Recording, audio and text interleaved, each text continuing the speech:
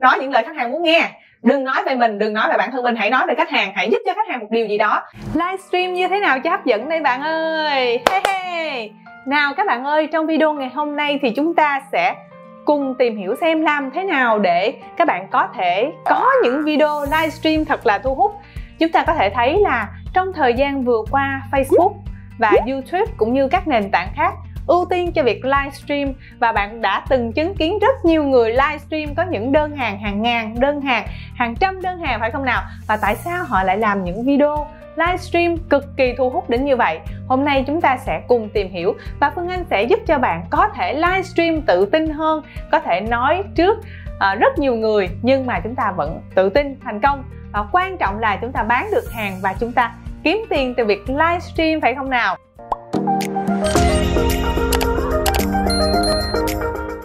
Đầu tiên một bí quyết rất quan trọng trong việc livestream đó là năng lượng của bạn.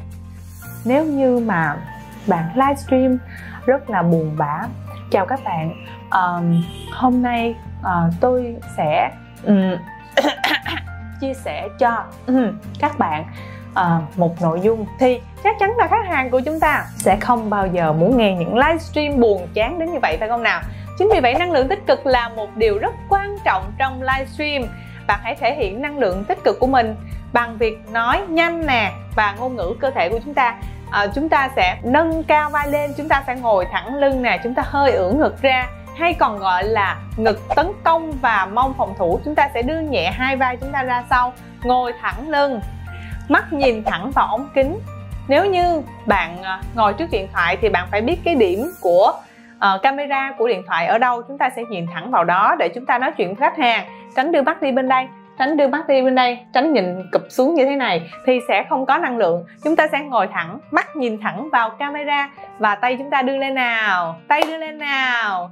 Nào bạn hãy đưa tay lên nào. Đúng rồi chúng ta sẽ đưa tay lên và bàn tay của chúng ta thì chắc chắn là lúc nào cũng phải ngửa nha nếu như bàn tay của chúng ta không ngửa, bàn tay của chúng ta úp xuống thì sẽ làm cho năng lượng bị trùng xuống. Chính vì vậy mà chúng ta phải luôn ngửa bàn tay lên. Nào, và nếu như các bạn hãy xem một vài livestreamer rất là nổi tiếng thì cái động tác tay của họ rất là linh hoạt. Nào, xin chúc mừng bạn đã xem livestream của tôi ngày hôm nay. Và nếu như bạn xem livestream của chúng tôi ngày hôm nay thì bạn hãy comment đi comment đi comment đi. Chúng ta sẽ kêu gọi hành động xin chào bạn. Hello xin chào bạn anh nha. Xin chào bạn anh đã theo dõi livestream của tôi ngày hôm nay. Xin chào bạn hải. Ồ oh, hải ơi hôm qua vừa thấy hải có một cái áo rất là đẹp.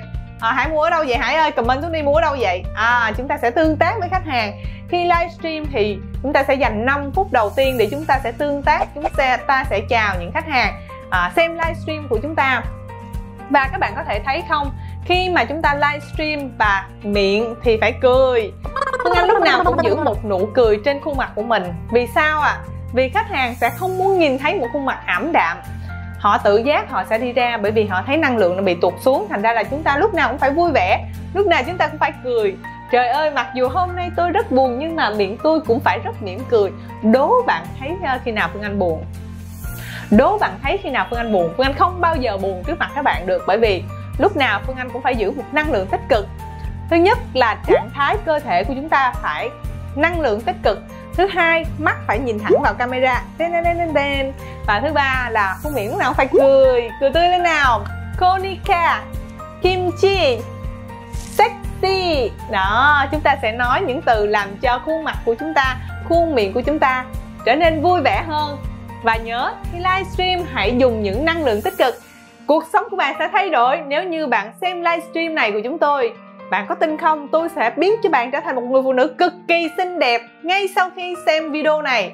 Các bạn ơi các bạn có muốn uh, cuộc sống của các bạn trở nên vui vẻ hơn hạnh phúc hơn mỗi ngày không nào? Như vậy thì chúng ta sẽ bắt đầu vào livestream ngày hôm nay nhé. Và chắc chắn là chúng ta sẽ sử dụng những năng lượng, những ngôn ngữ tích cực trong video của chúng ta. Đừng sử dụng những năng lượng, ví dụ như thất bại, khó khăn, ngu, yếu kém, vân vân và may may. Thì chúng ta biết một điều rằng khách hàng không muốn chơi với những kẻ thất bại. Khách hàng chỉ muốn chơi với những người thành công, những người có nguồn năng lượng tích cực và nguồn năng lượng tích cực sẽ là điều thu hút khán giả của bạn về phía bạn. Như vậy, chúng ta đã biết được những cách làm cho chúng ta livestream thành công nhắc lại một lần nữa, đầu tiên là trạng thái cơ thể ngồi thẳng thẳng lưng, mắt nhìn thẳng và tay thì hướng lên trên. Thứ hai là khuôn miệng phải mỉm cười. Thứ ba là nói những điều tích cực. Và thứ tư, quan trọng nhất, nói những lời khách hàng muốn nghe. Đừng nói về mình, đừng nói về bản thân mình, hãy nói về khách hàng, hãy giúp cho khách hàng một điều gì đó.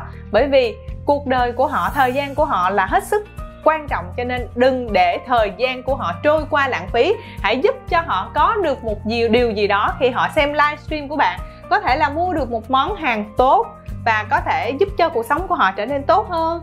Có thể là họ sẽ có thêm nguồn năng lượng, thêm nguồn năng lượng tích cực khi xem video của bạn. Có thể là họ sẽ vui vẻ, một nụ cười bằng 10 thang thuốc bổ hãy kể cho họ một câu chuyện cười gì đó, làm cho họ vui hơn. Hãy giúp cho họ ờ, một câu chuyện gì đó để họ có thể áp dụng điều đó vào cuộc sống. Khách hàng sẽ muốn nghe những điều có ích từ bạn.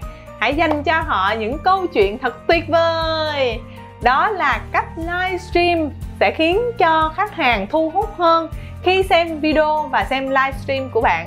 Và nếu như bạn thấy video này của Phương Anh hữu ích thì cũng hãy nhấn like, nhấn share và nhấn subscribe nha. Bởi vì Phương Anh còn rất là nhiều những video nữa mà Phương Anh sẽ chia sẻ với bạn trong thời gian tới. Xin chào tạm biệt và hẹn gặp lại trong những video sau. Xin cảm ơn bạn đã theo dõi video vừa rồi của Phương Anh. Nếu như bạn thấy video này hữu ích đối với bạn thì hãy bấm like, bấm share và đừng quên nhấn kênh subscribe Nhấn vào nút cái chuông để đăng ký để nhận được những video mới nhất từ Phương Anh mà không bỏ lỡ. Và chúng ta sẽ cùng gặp lại nhau trong những video sau nha. Nếu như bạn có bất kỳ một câu hỏi nào thì bạn hãy comment ở phía bên dưới. Và à, Phương Anh sẽ trả lời cho bạn tất cả mọi câu hỏi của bạn bằng video nhớ nha nếu như không hiểu điều gì hoặc là cần Phương Anh giúp đỡ thêm điều gì à, bạn cần biết thêm điều gì thì bạn hãy comment xuống dưới và Phương Anh sẽ sẽ trả lời cho bạn. Xin cảm ơn và xin hẹn gặp lại trong những video sau.